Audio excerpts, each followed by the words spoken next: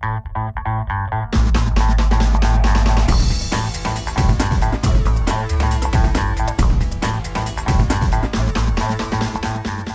everybody, I'm Sabine Lenz, founder of Paper Paperspecs with your weekly dose of paper inspiration.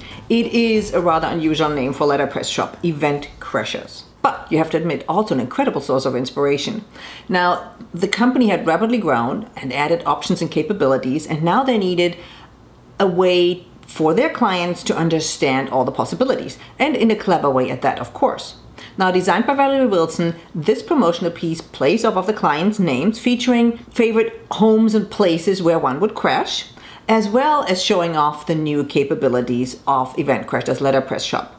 Each page is illustrated by a lovely image and uses a different substrate, obviously my favorite part, and link or foil that helps to solicit feeling of the scene. Now, I love the fan format with the screw post, always a crowd pleaser, but the best part, of course, is on the very back page, you can see how each and every one of the pages was created. So if you want to recreate one of the effects, you can do so.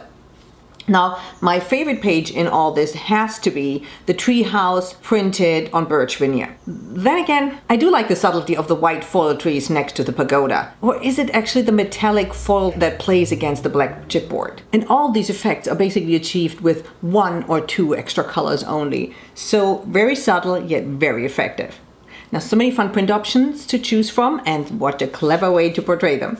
Find out more about my favorite place to crash at paperspecsgallery.com. And don't forget to go out and make this world a better place through great design and outstanding paper choices. And keep sending me your fabulous printed pieces. I love to feature them.